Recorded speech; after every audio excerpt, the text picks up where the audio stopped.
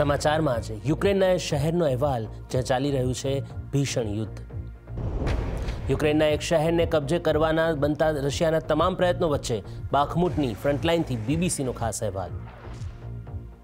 BBC સમાચારમાં આપનું સ્વાગત છે. હું છું અર્ણવ વસાવડા.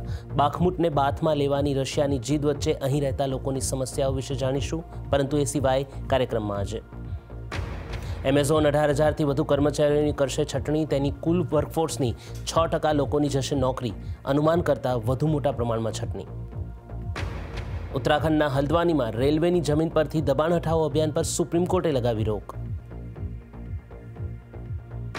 તામિલનાડુના ઇરેયુર ગામમાં દલિતો સાથે અસ્પૃશ્યતા ભેદભાવની ઘટના પર વિવાદ, સરકારે શરૂ કરી તપાસ. ભારત માટે મેડલ જીતનાર પ્રથમ મહિલા સ્કીંગ ખેલાડી આંચલ ઠાકુર સાથે મુલાકાત. આ ખબરો વિસ્તારથી જોઈશું આજે બીબીસી સમાચારમાં.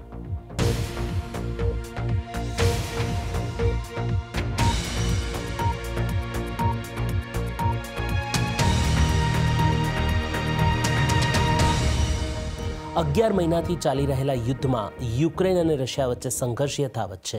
તેમાં પાછો શિયાળાનો માર સેનાને વધુ આકરો પડી રહ્યો છે.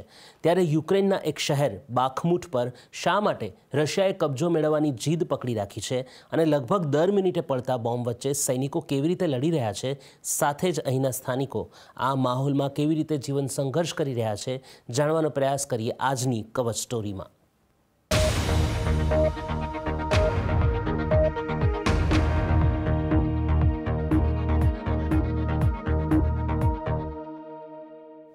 યુક્રેનની પૂર્વ બાજુએ આવેલું બાખમુટ શહેર યુદ્ધનું કેન્દ્ર બિંદુ બની ગયું છે.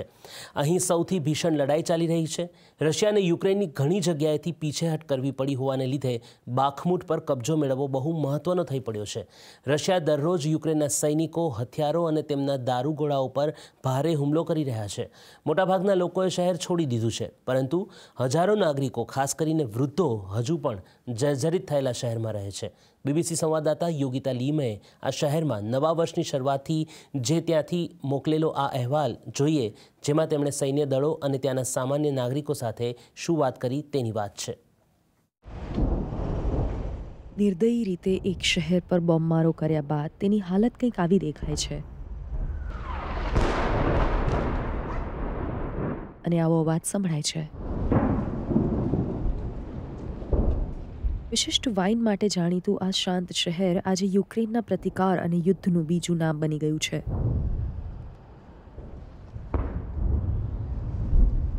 આ શહેરને કબજે કરવા માટે રશિયા બનતા તમામ પ્રયત્નો કરી રહ્યું છે.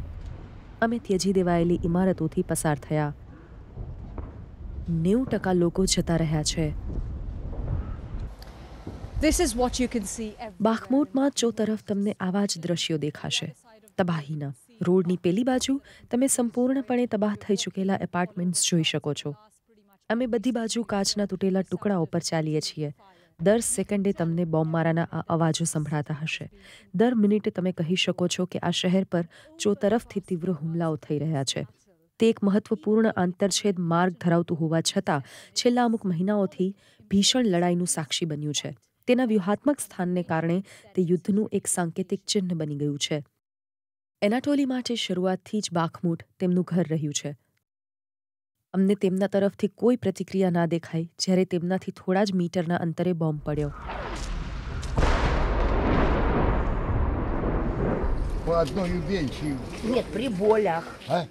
તેઓ સહાય કેન્દ્રમાં આવ્યા છે જે અહીંયા રહેલા લોકોની જીવાદોરી સમાન છે. અમે તેમને પૂછ્યું કે તમે અહીંયાથી ગયા કેમ નહીં? જવા માટે મારી પાસે કોઈ જગ્યા નથી. હું એકલો છું. કોણ એક છ્યાસી વર્ષની વ્યક્તિને તેમની સાથે લઈ જશે? જ્યારે સૈનિકો ક્યારેક ક્યારેક અહીંયા ખોરાક કે સૂપ ફેંકે છે, તો હું એ શોધું છું અને ખાઈ લઉં છું. મને બ્રેડ મફતમાં મળી જાય છે. મેં મારી જિંદગીમાં આવું કોઈ દિવસ નથી જોયું.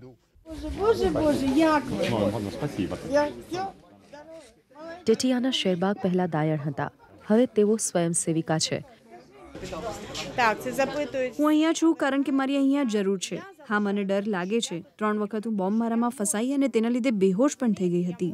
પણ ભોય તળિયામાં છુપાઈ રહેવાનો પણ કોઈ અર્થ નથી. લોકો જુદા જુદા કારણોસર અહીંયા રોકાયેલા છે. વિસ્ફોટ બંધ નથી થઈ રહ્યા પરંતુ લોકો હવે ચોંકતા નથી. કદાચ તેઓ સુન્ન થઈ ગયા છે. દરરોજ બોમ્બથી દૂર રહેવાનો પ્રયાસ અને સતત આઘાતની પરિસ્થિતિનો કોઈ અંત નથી.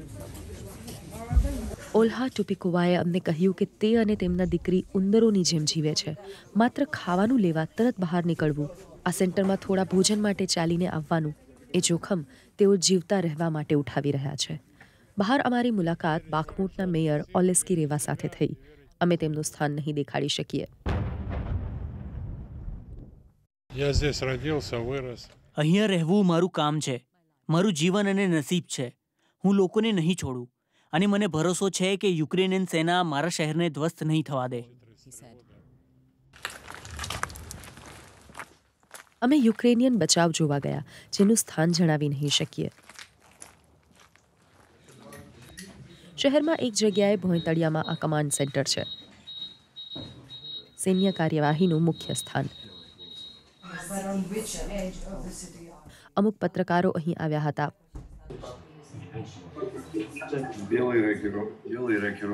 બાખમુટના પૂર્વીય ભાગથી આગળ ઉડતા ડ્રોન્સની આ લાઈવ તસવીરો છે જ્યાં રશિયન સેનાએ ધામા નાખ્યા છે. હમણાં જ બહાર નીકળેલી સૈન્ય ટુકડી માટે આ વ્યક્તિ નિશાનો શોધી રહી છે. કમાન્ડર સ્કાલા તરીકે પોતાને ઓળખાવતા આ શખ્સે અમને જણાવ્યું કે તેઓ લડ્યા હોય તેમાંથી આ સૌથી અઘરું યુદ્ધ છે. અમે આ પહેલા આવા દુશ્મનોની ટુકડીઓ નથી જોઈ. તેમના સૈનિકો આગમાંથી પણ આગેકૂચ કરી રહ્યા છે. પછી ભલે જમીન પર તેમના શરીર પડ્યા રહેતા હોય, તેમના સાઠમાંથી માત્ર વીસ લોકો બચી ગયા હોય તો પણ આ પ્રકારના આક્રમણ સામે ટકી રહેવું બહુ મુશ્કેલ છે. થોડા અઠવાડિયા પહેલાં અમારા સૈનિકોને બચવા માટે અમારે પૂર્વીય ભાગથી શહેર તરફ ભાગવું પડ્યું.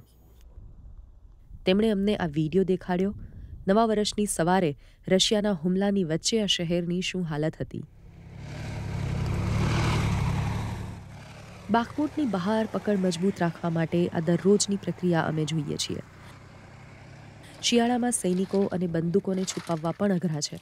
અમે તેમને સોવિયેત સમયના હથિયારોનો ઉપયોગ કરતા જોયા.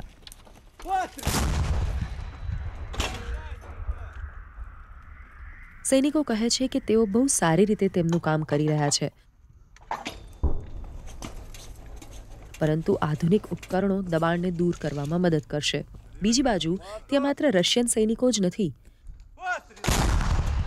પરંતુ ખાનગી સૈન્ય કંપનીના ભાડે બોલાવેલા સૈનિકો પણ છે. તેમના અનુમાન મુજબ હુમલો થવાનો છે, એટલે અમે બંકરમાં પરત ફર્યા. તમને કેમ લાગે છે કે જમીન પર તેઓ મજબૂત રીતે ટકી રહ્યા છે? તેના ઘણા કારણો છે. શિયાળામાં ઉપકરણો વાપરવા પણ અઘરા લાગે છે. અમારી પાસે હથિયારો અને દારૂગોળા પણ ઓછા છે. такого Машина должна приехать. Вчера познімали. ફરીથી તેમના સ્થાન પર જવા રવાના ધૈર્યની આ લડાઈમાં બંને બાજુ એકબીજાને ધ્વસ્ત કરી દેવા માંગે છે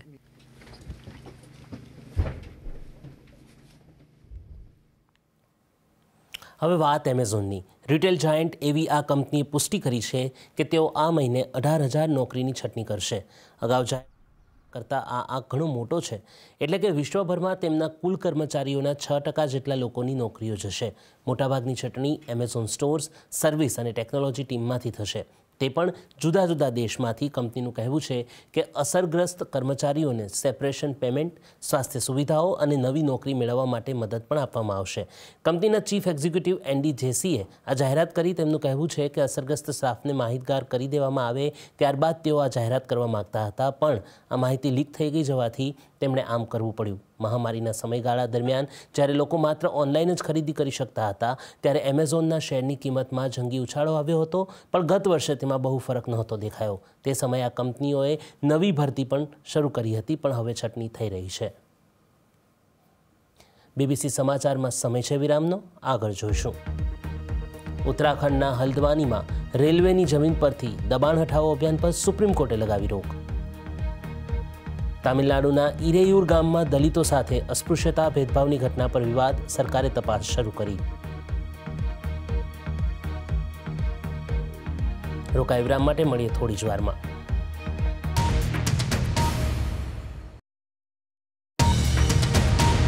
બીબીસી સમાચારમાં વિરામ બાદ આપનું સ્વાગત છે. હું છું અર્ણવ વસાવડા.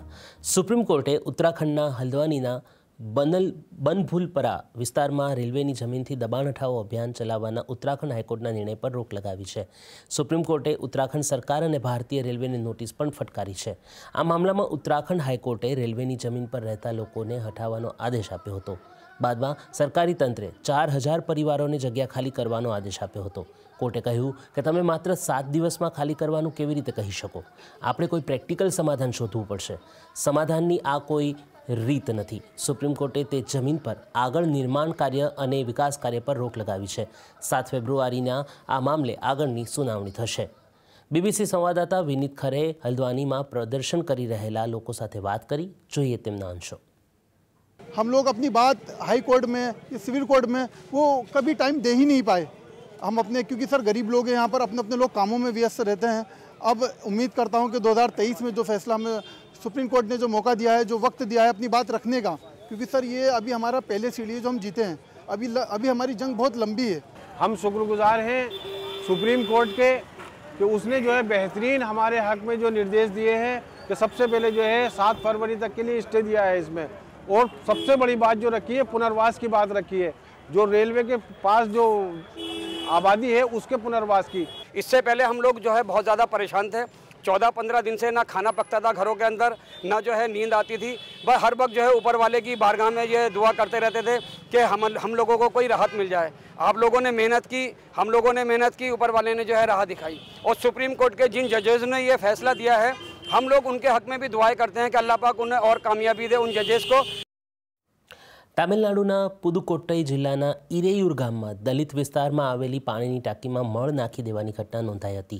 એ પાણી પીવાથી ઘણા બાળકો બીમાર પડી ગયા, પછી એ સમસ્યાની જાણ થઈ હતી. હજુ સુધી આરોપીઓની ઓળખ નથી થઈ. જ્યારે કલેક્ટર આવ્યા, ત્યારે તેમને દલિતોના મંદિર પ્રવેશ પર પ્રતિબંધ અને અસ્પૃશ્યતાની ગામમાં ચાલી રહેલી સ્થિતિ વિશે પણ માહિતી મળી. એમાં ત્રણ લોકોની ધરપકડ કરાઈ હતી. બીબીસીએ આ ગામની મુલાકાત લીધી. જોઈએ બીબીસી સંવાદદાતા પ્રમીલા કૃષ્ણનનો રિપોર્ટ. પુદ્દુકોટ્ટાઈ જિલ્લાના ઈરાયુર ગામમાં એક ચોંકાવનારી ઘટનામાં દલિત વિસ્તારમાં પાણીની ટાંકીમાં માનવ મળ નાખવામાં આવ્યો. આ પાણી પીનારા અનેક બાળકોને ઝાડા અને તાવની બીમારી થઈ હતી. જ્યારે જિલ્લા કલેક્ટર કવિતા રામુ આ ઘટનાની તપાસ કરવા પહોંચ્યા, ત્યારે તેમને ખબર પડી કે આ વિસ્તારમાં આભડછેટ થાય છે. તેમને એ પણ ખબર પડી કે દલિતોના અય્યાનાર મંદિરમાં પ્રવેશવા પર પ્રતિબંધ છે. હવે પાણીની ટાંકી સાફ કરી અન્ય ટાંકીમાંથી પાણીનું વિતરણ કરાઈ રહ્યું છે.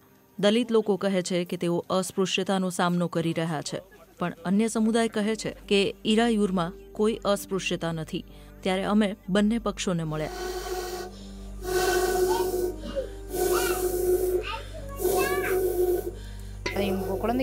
જાણે મેં મારા બાળકોને ઝેર ખવડાવ્યું હોય. મેં મારા બાળકોને મળ મિશ્રિત પાણી પોતાના હાથે પીવડાવ્યું હતું. આ વાત મને બાદમાં ખબર પડી. અમને આઘાત લાગ્યો. અમે હજી પણ તે પચાવી નથી શક્યા. મેં જાતે જ મારા બાળકોને ઝેર પીવડાવ્યું હતું એવું મને લાગ્યું. હજુ પણ ઘણા બાળકો ખૂબ બીમાર છે. તે પાણી અમે પોતે આપ્યું હતું. અમે જાણીએ છીએ કે તેને હવે સાફ કરી દેવાયું છે. છતાં પાણી આપીએ ત્યારે પાણીની સ્વચ્છતા અંગે ડર લાગે છે.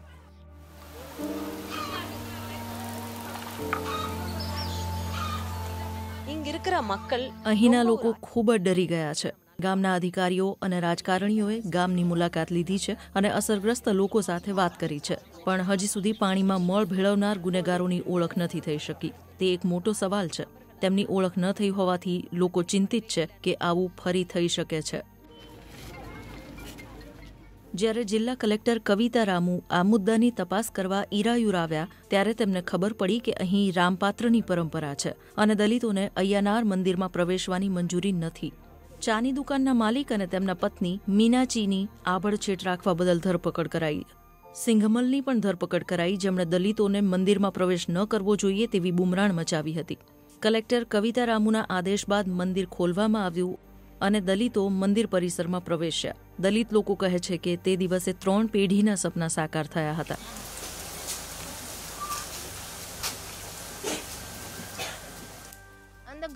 આ મંદિર દરેક માટે સામાન્ય છે. પરંતુ છેલ્લી ત્રણ પેઢીઓથી અમે એ મંદિરમાં પ્રવેશ કર્યો નહોતો. અમારા વડવાઓએ આ જુલમ સહન કર્યો, પણ અમે શિક્ષિત છીએ. અમારે આ દમન સહન કરવાની કોઈ જરૂર નથી. અમારી પાસે શિક્ષણ છે, અમારી પાસે શક્તિ છે. અમે મંદિરમાં પ્રવેશ કરીશું, અમને તે સમાન અધિકાર મળવો જોઈએ. આ અસ્પૃશ્યતાના મામલાને જોતા સુરક્ષા મુદ્દાઓ માટે ઈરાયુરમાં પોલીસને તૈનાત કરાઈ છે. ત્રણ વર્ચસ્વ ધરાવતી જ્ઞાતિના સભ્યોની ધરપકડ પછી લોકો કહે છે કે તેમને વહીવટી તંત્ર પર વિશ્વાસ નથી. તેમણે કહ્યું કે તેઓ મીડિયા સાથે વાત કરવા તૈયાર નથી અને અમારી સાથે પણ તેમણે વાત ન કરી. તેમણે કહ્યું કે દલિતો જેવો દાવો કરે છે તેવી કોઈ અસ્પૃશ્યતા નથી અને તેઓ આક્ષેપ કરે છે કે તેમના પર બિનજરૂરી આક્ષેપ કરાઈ રહ્યા છે. જ્યાં સુધી મારી વાત છે ત્રણેય જ્ઞાતિના લોકો એક થયા છે. જ્યાં સુધી હું જાણું છું ત્યાં સુધી તેઓ એકબીજા પ્રત્યે પક્ષપાત નહીં કરે. તેઓ નીચી જ્ઞાતિ અને પીડિત જ્ઞાતિ કહી પોતાને નીચા માને છે. શરૂઆતમાં કેસ મળ ઉમેરવાનો હતો. તેમણે કહ્યું કે તેઓ કેસ કરશે. પણ તેમણે અમને કે અમારી ગલીમાં કોઈને કહ્યું નહીં. તેમણે કાઉન્સિલર અને અન્ય ઉચ્ચ અધિકારીઓને જણાવ્યું હતું. આ ક્ષોભ અને પીડા આગામી ઘણી પેઢીઓ સુધી રહેશે. એ દર્દને દૂર કરવા આપણે તેઓ શું ઈચ્છે છે તે સમજ્યા પછી પગલાં લેવા પડશે. મને લાગે છે કે રાજ્ય આ મુદ્દાને ખૂબ જ ચતુરાઈથી સંભાળી રહ્યું છે. એવું નથી કે તેઓ આ અપરાધને નાબૂદ કરવા માંગે છે. મંદિરમાંના મહિલાને કે ચાની દુકાનના માલિકને જેમની રામપાત્ર માટે ધરપકડ કરી એ કોઈ મોટી વાત નથી. સવાલ તો અસલી ગુનેગારને ઓળખવાનો છે. અમે જિલ્લા કલેક્ટર કવિતા રામુને મળ્યા અને તેમને પૂછ્યું કે ગુનેગારોની ઓળખ કેમ નથી કરવામાં આવી? તેમણે કહ્યું કે તે વિસ્તારમાં સીસીટીવી કેમેરા નથી. તેમણે એમ પણ કહ્યું કે તપાસને ઝડપી બનાવવા એક વિશેષ ટીમની રચના કરાઈ છે. બીબીસી સમાચારમાં સમય છે વિરામનો, આગળ જોઈશું. ભારત માટે મેડલ જીતનાર પ્રથમ મહિલા સ્કીઈંગ ખેલાડી આંચલ ઠાકુર સાથે મુલાકાત. રોકાય વિરામ માટે મળીએ થોડી જ વારમાં. બીબીસી સમાચારમાં વિરામ બાદ આપનું સ્વાગત છે. હું છું અર્ણવ વસાવડા. હિમાચલ પ્રદેશ નિવાસી આંચલ ઠાકુરે સ્કીઇંગમાં દેશનું નામ રોશન કર્યું છે. તેઓ ભારતના પહેલા મહિલા આલ્પલાઇન સ્કી ખેલાડી છે. જેમણે દુબઈમાં યોજાયેલી ઇન્ટરનેશનલ આલ્પલાઇન સ્કી ચેમ્પિયનશિપ બે હજાર બાવીસમાં ચાર સિલ્વર મેડલ પોતાને નામ કર્યા છે. ત્યારે બીબીસી માટે પત્રકાર પંકજ શર્માએ મુલાકાત કરી આંચલ ઠાકુર સાથે. कंपटीशन में पहले यूए के जो कंपटीशन थे एफआईएस तो उसमें मेरे दो इंटरनेशनल सिल्वर मेडल्स आए जो कि इंडिया के पहले सिल्वर मेडल्स और अगले दो दिन टिमोर द्वारा जो F I S recognise competition थे उसमें मेरे फिर से दो सिल्वर मेडल्स आए। तो चार सिल्वर मेडल लेके इंडिया आना एक बहुत बड़ी खुशी की बात थी। तो बहुत ज़्यादा खुशी होती है कि आप सिर्फ़ अपने लिए नहीं जी रहे हो कम्युनिटी आपसे इंस्पायर हो रही है तो इससे बड़ी खुशी की बात शायद एक एथलीट के लिए कुछ नहीं हो सकती। મનાલીના એક નાનકડા ગામ બુરુઆમાં અલ્પાઇન સ્કીયર રમત ખૂબ વિસ્તાર પામી રહી છે. અહીં આ રમતના લગભગ બસોથી વધુ ખેલાડી છે.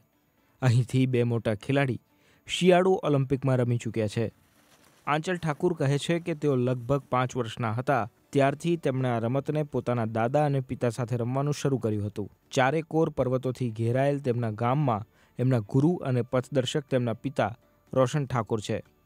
તો સાથે જ તેમના ભાઈ હિમાંશુ બે હજાર ચૌદમાં શિયાળુ ઓલિમ્પિકમાં રમી ચૂક્યા છે આંચલને આજે આંતરરાષ્ટ્રીય સ્પર્ધામાં રમતા રમતા તેર વર્ષ થઈ ગયા છે વર્ષ બે હજાર અઢારમાં તુર્કીમાં આયોજિત ઇન્ટરનેશનલ અલ્પાઇન સ્કીઇંગ કોમ્પિટિશનમાં આંચલે બ્રોન્ઝ મેડલ પોતાને નામે કર્યો હતો એ સમયની યાદો પણ ખૂબ જ ખાસ છે वो फीलिंग मुझे लगता है इनक्रेडिबल थी वो सबसे खूबसूरत पल था क्योंकि उस समय मुझे समझ ही नहीं आया कि हम प्रोग्रेस करते करते आज इस मुकाम तक पहुंच गए कि हमने अपने देश के लिए मेडल जीता है वो भी इंडिया का पहला इंटरनेशनल मेडल था આંચલની ઈચ્છા છે કે સરકાર આ રમત તરફ વધારે ધ્યાન આપે मेरा सपना भी है कि मैं इंडिया को ओलंपिक्स में रिप्रेजेंट करूं अभी मुझे लगता है ऑनेस्टली इंडिया को क्वालिफाई करना ही बहुत बड़ी बात है જમીન ખસી પણ કોની બીબીસી કાર્ટુનિસ્ટ કીર્તિશની કલમે આજનો કટાક્ષ?